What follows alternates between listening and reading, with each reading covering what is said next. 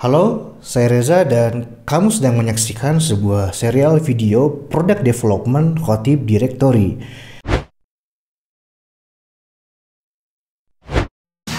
Di video sebelumnya saya sudah menjelaskan bagaimana caranya membuat migration dari sebuah database atau skema database yang sudah didefinisikan sebelumnya. Seperti yang uh, saya bicarakan sebelumnya bahwa setiap entitas ini akan menjadi sebuah objek dalam objek oriented ya. User ini akan jadi sebuah objek users, queue, um, speakers dan event. Itu akan jadi sebuah objek. Nah, di entitasnya dia punya hubungan antar entitas, termasuk di objek. Objek juga punya hubungan. Kalau kita cek di model sini, kita cek user, dia belum ada hubungannya, dia belum ada metode yang berfungsi untuk menghubungkan dia dengan kelas atau objek lain. Maka akan uh, maka kita akan buat. Nah, user ini kalau kita lihat dia punya dua hubungan ke Mosque dan ke speakers. Oke, kita buat dulu ke Mosque atau ke masjid ya. Caranya adalah dengan cara kita buat uh, public function dan ini harus public gitu.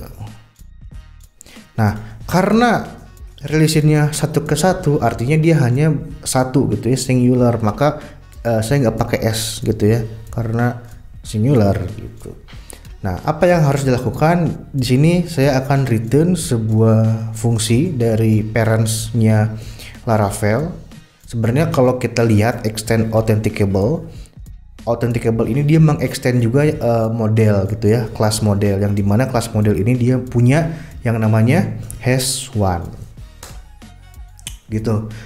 Heswan apa? Dia punya sebuah masjid. Nah seperti itu. Nah masjidnya jangan lupa kita import oke? Okay. sudah diimport ada di atas. Artinya kelas user sudah memiliki metode masjid atau sudah memiliki hubungan dengan masjid. Jangan lupa kasih komentar has one mosque ya yang kedua itu adalah user ke speakers ya. Jadi user punya speakers juga. Oke. Okay. Mouse queue dia punya return this has one. Apa? Speaker. Jangan lupa di insert dan kasih komentar has one mouse queue. Oke. Okay. Nah, di user kita sudah selesai, kita akan pindah dulu ke masjid ya kita oh ini ada ada yang masalah? Oh karena salah oke okay, berarti bukan mouse key harusnya apa? Speaker ya. Oke. Okay. oke okay, sudah tidak error. Lalu saya buka um, queue kita cek dia punya hubungan ke user ya. Jadi si masjid ini dimiliki oleh user. Nah caranya sama ya. Public function user. Karena satu gitu. Tapi bedanya di sini bukan hash one tapi belongs to ya. Belongs to apa? User. Dia dimiliki oleh user. Oke seperti itu. Jangan jangan lupa dikasih komentar bahwa hmm, ini belongs to user. Ya kurang lebih kayak gitulah. Public function. Eh mosque punya apa lagi? Oh dia punya hubungan satu ke banyak ke event. Maka eventnya pakai s ya, karena banyak.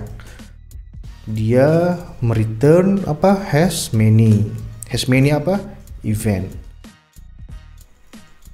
Oke jangan salah import bahwa event di sini adalah event. Oke betul.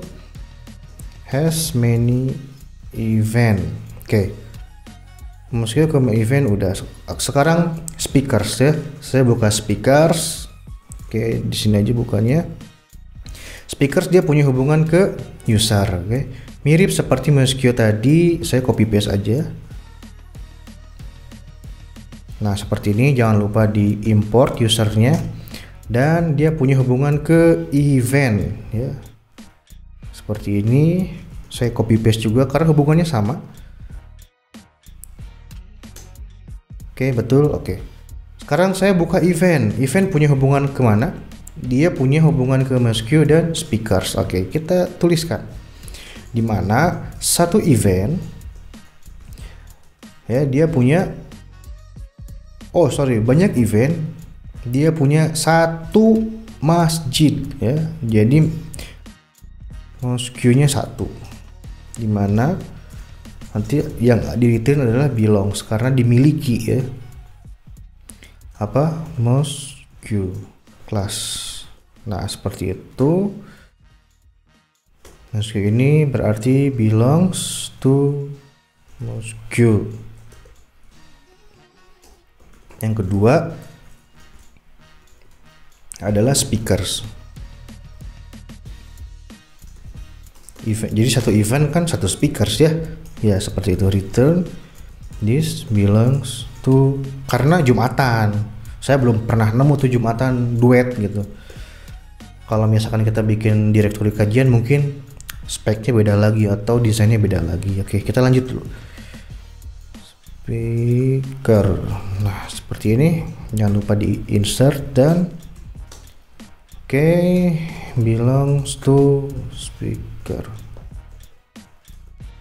Oke, sekarang semua model sudah punya hubungan, tapi ada beberapa yang belum. Kalau kita lihat user, dia punya atribut yang fillable.